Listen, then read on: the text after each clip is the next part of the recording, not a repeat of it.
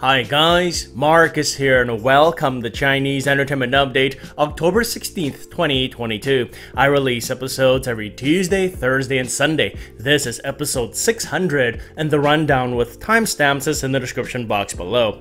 And because this is my 600th episode, I thought I'd open it with my boy. With my boy since he got such a good response last time out. Thank you guys for all the kind comments. Can you say hi? Can you say hi? Can you say hi? Okay, in today's episode, Leo Wu and Zhao Lusi share doggy pics on the same day. Viann Zhang shares an experience at the airport that brought her to tears. Dylan Wang shares his 7-day fitness vlog. And Shen Yue responds to the billing position issue. We'll get to the top 10 Chinese web and TV dramas of the week as we do every Sunday. But first, here's what's recently premiered, two dramas for today and the past few days. Cute Bodyguard is a modern drama starring Lin Meishi and Liu Te. It premiered on October 14th. Comedy and romance ensues when a cute girl with supernatural abilities becomes a wealthy heir's bodyguard. Cute Bodyguard is slated for 24 episodes and is available on WeTV with English subs. Then there's Light Chaser Rescue, a modern drama starring Leo Luo and Janice Wu. It premiered on October 14th as well. Leo Luo plays a lawyer who heads to an earthquake-stricken area in search of his missing sister. While there, he meets a rescue worker played by Janice Wu, and although they get off on the wrong foot, they eventually see the best in each other. Light Chaser Rescue is slated for 40 episodes and is available on WeTV with English subs. That's it for recently premiered dramas. Moving on, dramas that recently passed review. There are a few of them. There's The Baking Challenge, a modern drama starring Wang Yanling and Zhao Xiaotang. It passed review and obtained an online record number on October 10th. Fighting for Love, a costume drama starring Crystal Zhang and Zhang Haowei. It passed review and obtained an online record number on October 11th. Eternal Brotherhood, a costume drama starring Yang Xuwen, Liu Yuning, and Zhang Mingen. It passed review and obtained an online record number on October 11th. And lastly, Brotherhood of Blades Shadow of Mountain and River, a costume drama starring Leon Zhang and Chen Ruoxuan. It passed review and obtained an online record number on October 13th. The last two, Eternal Brotherhood and Shadow of Mountain and River, sound like wuxia dramas that I'd check out, so looking forward to those. I'll update if and when all those aforementioned dramas announce their premiere dates. Lastly, for drama updates, I recently came across a Weibo post that I wanted to share. It reveals 9 fairly new dramas that recently got an average Douban rating of over 7. Let me just run through them real quick, and bear in mind that these ratings are as of October 12th, 4 days ago. There's Falling Into You with 7.1, Mr. Bad with 7.2, and Are You Safe with 7.3. About Youth with 7.4. Fair to say that this is a lesser known drama. It is a Taiwanese youth drama that stars Shen Jun and Li Zhenhao. It's a short one too, 8 episodes, 20 minutes or so each. Then there's Kunlun Tomb with 7.4. Strange Tales of Tang Dynasty with 7.5. The costume drama stars Yang Xuwen and Yang Zhigang. I'm thinking of checking this one out, heard lots of good stuff about it.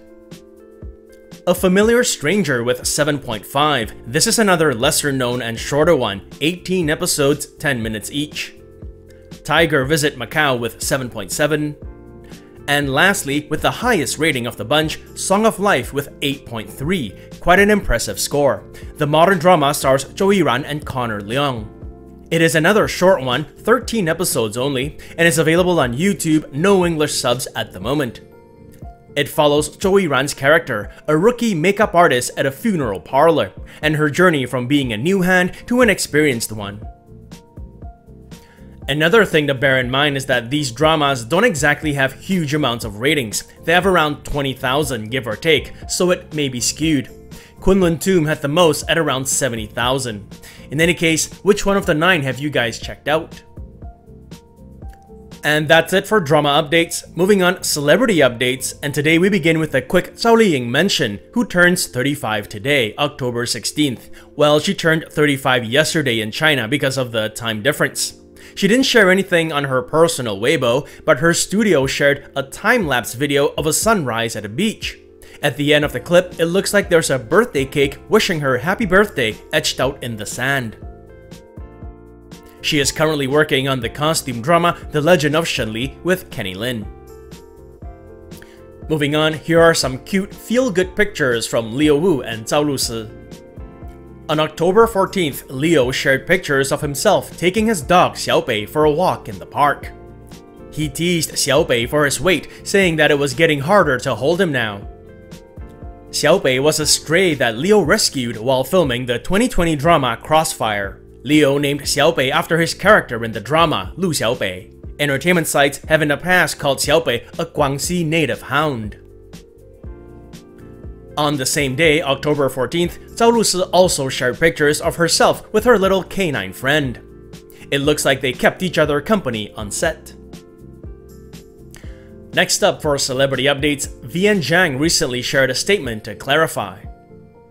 35-year-old Viann Zhang stars in the recently aired Checkmate with Hu Yitian and Leon Zhang. On October 12th, she shared a message on Weibo regarding an experience she had at the airport. She began it with, how could people be so unconcerned and cold? And went on to explain that while at baggage claim, she had a huge piece of luggage that was difficult to grab. Quote, I politely asked the lady next to me to move over a little. She glanced at my luggage, then continued playing with her phone and just stood there like she was nailed to the ground. Feeling helpless, I dragged the luggage with all my strength, only to have it land on my foot. She said it was so painful it made her cry. However, she since deleted her post. Media outlets said her post caused heated discussion on social media, but they didn't quote anyone. Viann then shared another message on Weibo to say, I just like to post little interesting things about life, didn't expect to complicate things by being misinterpreted. Okay, I'll still keep being myself. Looks like she may have gotten negative responses to her first post. Anyway, I've been to many a baggage claim and oftentimes people are trying to jockey for the best spot to grab their luggage, so I understand not wanting to move if you found a sweet spot. But really, if someone needs you to just scoot over a little bit so they can grab their luggage, which has already arrived when yours hasn't, doesn't hurt to just move over a little bit. You'll get your spot back after that person grabs their luggage, right? What do you guys think? Next up, on October 14th, Dylan Wang shared a fitness vlog on his personal Weibo and stressed the importance of exercise. In the 10 minute video, Dylan is heard saying that he had lost over 10 pounds of muscle and that he's finally back training to rebuild it. He requested his trainer to come up with a 7 day training plan. Other than doing a ton of weight work, he also spent some time playing basketball.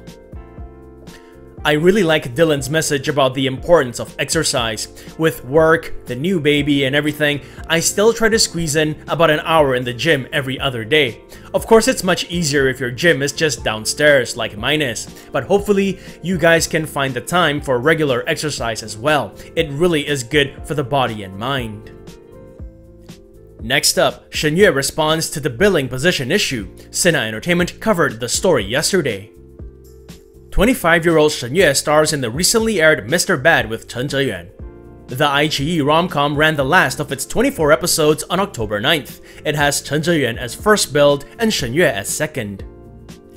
In a recent interview, Shen Yue was asked if she felt billing position had a big influence on an actor. She responded that she did not pay much attention to it. Quote, As an actor, once you become part of the cast, the most important thing is the acting. If production chose you just because of your billing position in your last show, then the work won't be very good. They should be choosing you because you're suitable, because you're a good actor.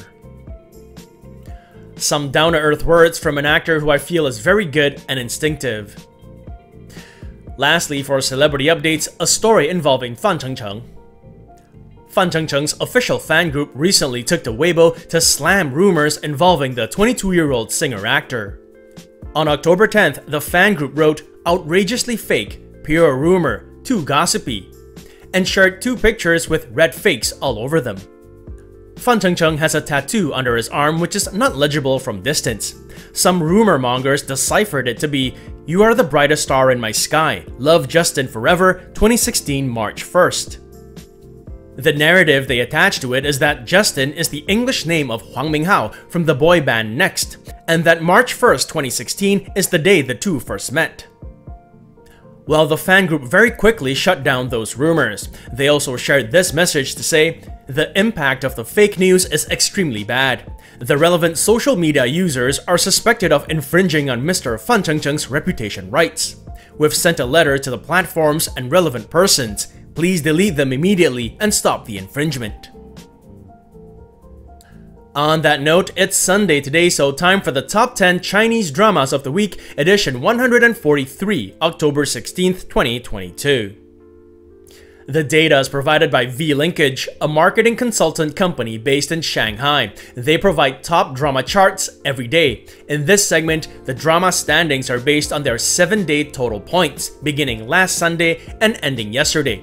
We begin with the top 10 web dramas. The list is based on view counts on Youku, iQIYI, and Tencent, social media discussions, and Baidu searches. Number 10, Rocket Mom, the modern drama stars Yao Chen and Chang Yuan. Number 9, Mr. Bad, the modern drama stars Chen Zheyuan and Shen Yue. Number 8, Are You Safe, the modern drama stars Tan Jianchi and Rong Zhishan. Number 7, Love Between Fairy and Devil, the costume drama stars Esther Yu and Dylan Wang.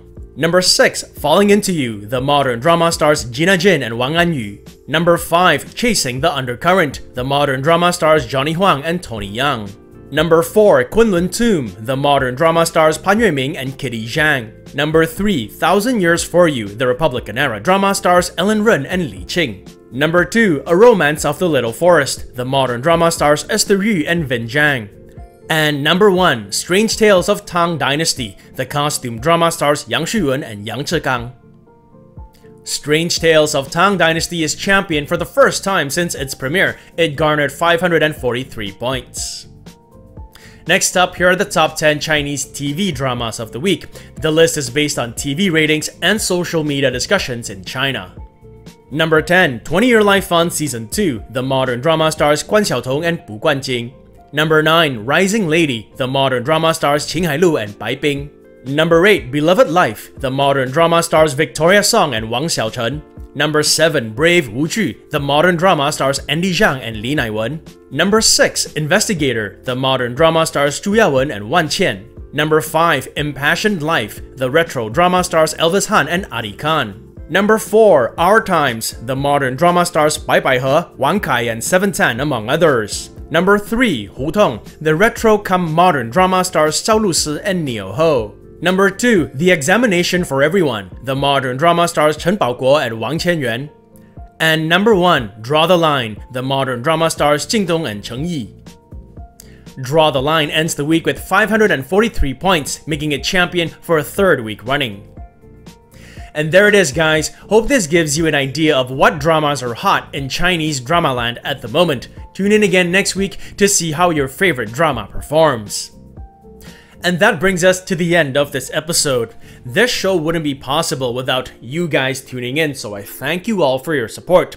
If you enjoyed it, do subscribe and don't forget to click that notification button for more updates. If you'd like to contribute, consider giving this video a super thanks. It is the heart-shaped button with a dollar sign below this video. All funds support the show and keep it going. Or you can check out my Patreon page where for a dollar or more a month, you'll have access to perks like recaps, requests, and have your questions answered. So stay safe, and as always, I wish you clear blue skies, good health, and happiness. Until next time, cheers!